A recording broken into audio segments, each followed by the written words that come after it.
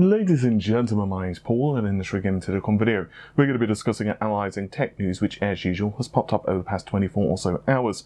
We're going to be starting things out with Intel, specifically confirmation that the 9000 series of Intel Core processors is actually real. So this is not because of a press event. In fact, it's something a little different. It is through a document that Intel have released concerning microcode updates for their processors. Now, in this microcode documentation, there are a number of processes that have been listed. And with this, plus some other bits and pieces that we have managed to sift through, what we have now is some specifications of some of the 9000 series processors. Now, I say some because there are a couple of SKUs, unfortunately, which are not present here. The one that's most disappointingly not listed is the uh, 8 core 16 thread CPU, which of course is supposedly going to be the highest end SKU available for the next generation of Intel processors. And even next generation is a bit generous, and we'll get into why in just a moment. But first of all, let's read out the specifications of the processors which do exist. So the highest end SKU is an i5-9600K. It is 6 cores, 6 threads, and has a boost frequency of 4.5 gigahertz. We also have the 9600, which is exactly the same. Obviously, however, it is locked, but uh, 3.7, uh, sorry, 3.1 gigahertz uh, base clock, 4.5 and boost clock. Next, we have the i5-9400, which is 6 cores, 6 threads, 2.9 gigahertz base, 4.1 gigahertz on the turbos.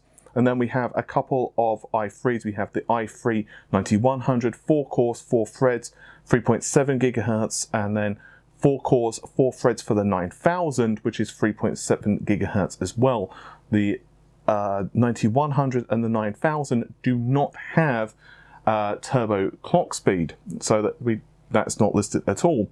So what you might notice there is something rather interesting and that is that we're looking at just a couple of hundred megahertz higher clock speed compared to the 8000 series. So in other words, if we were to take the, let's say 9600K, which is once again 6 cores, 6 threads, identical to the 8600K, whereas we're looking at 4.5 gigahertz for the 9600, uh, the 8600 has just 4.3 gigahertz.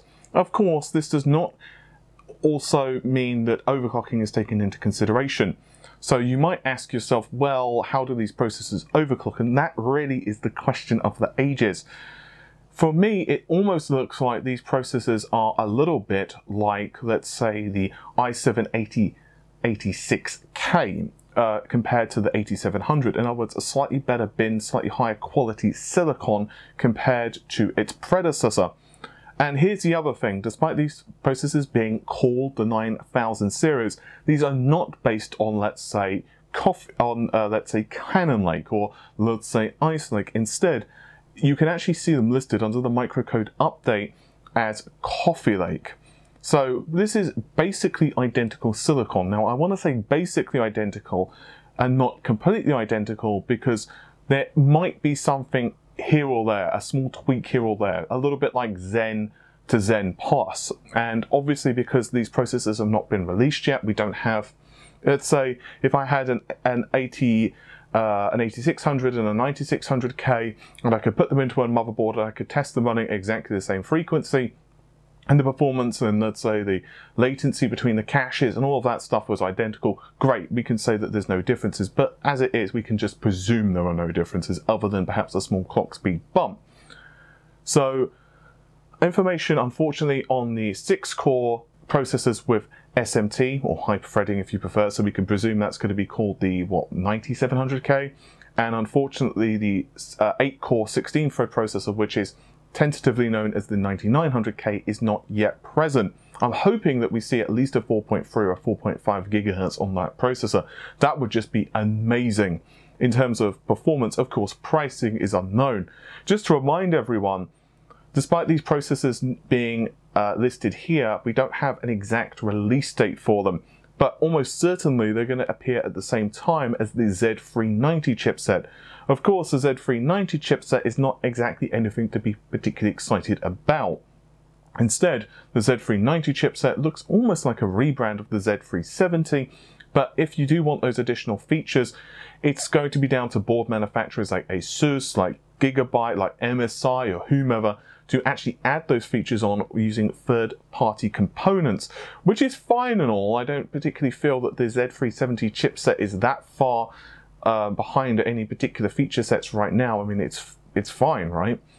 So it's just something to be aware of. So if you are considering purchasing uh, one of the current processors, most likely if you get a really good deal on let's say an 8600K or an 8700K, I don't think you're going to be that upset if you purchase this. The only reason I would maybe suggest waiting um, is just if you want that 8 core 16 thread behemoth. But then again, we don't know how well it's going to overclock. So it's possible that these processors may have a couple of extra 100 megahertz in the tank. On average, I'm talking about not if you're running like, you know, liquid nitrogen or something really high end, but let's just say when I'm talking about overclocking, I'm saying something like a standard AIO or a basic water cooling loop or a really good air cooler, which I presume is what most folks are going to be using. So let's say you've got a reasonable AIO, you know, you might see an extra 100 or 200 megahertz, hopefully on the core, and that's not just going to be like they both overclock identical because that would kind of suck, at least in my opinion. Now let's move over to another piece of news, and this comes to us from Camp Microsoft via The Verge. So there's been an awful lot of rumors concern, concerning the different devices that Microsoft have been working on in the background, and one of those is a new Surface device. Specifically, this, however, is going to be a handheld pocketable device.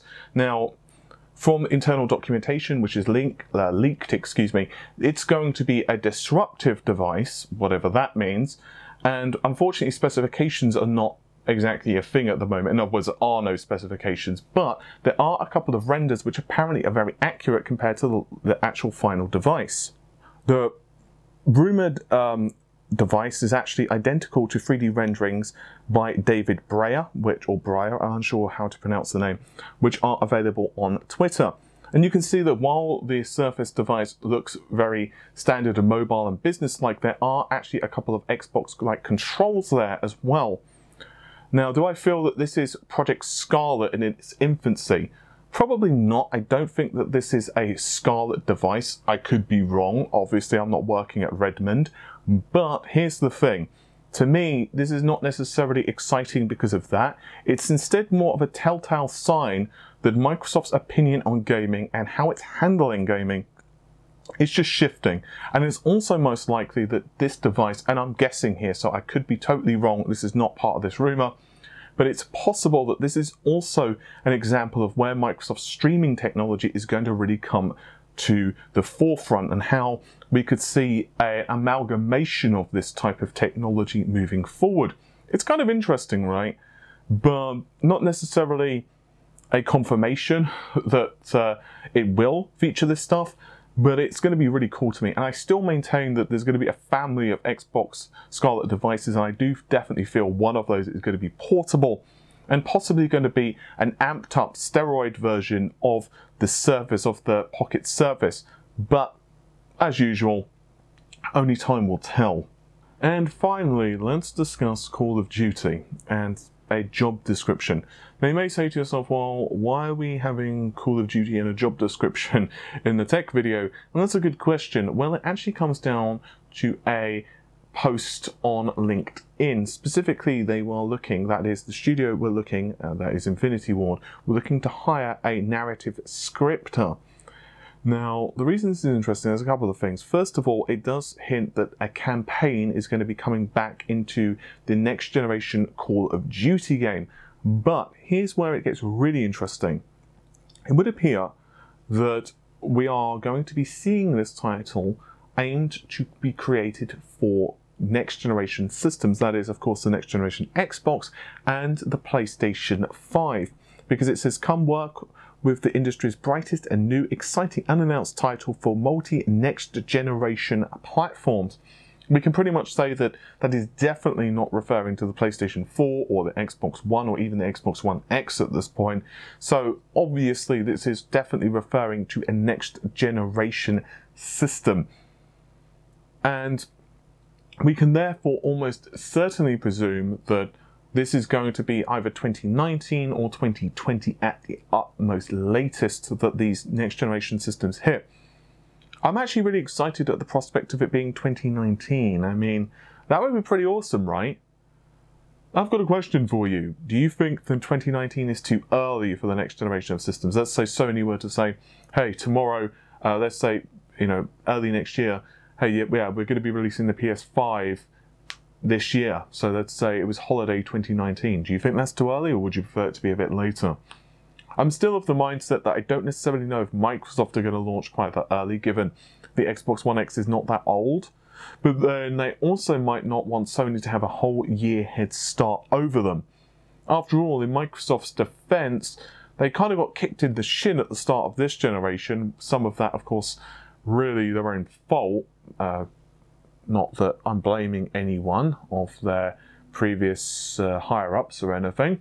But um, yeah, so they kind of got kicked in the shin by themselves at this generation. So to give Sony essentially a leg up for a year, would they really want to do that?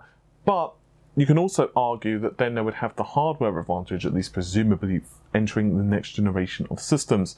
With all of that said, hopefully you have enjoyed the video. Normal stuff, like, share, comment and subscribe. I'll see you soon. Take care. Bye for now.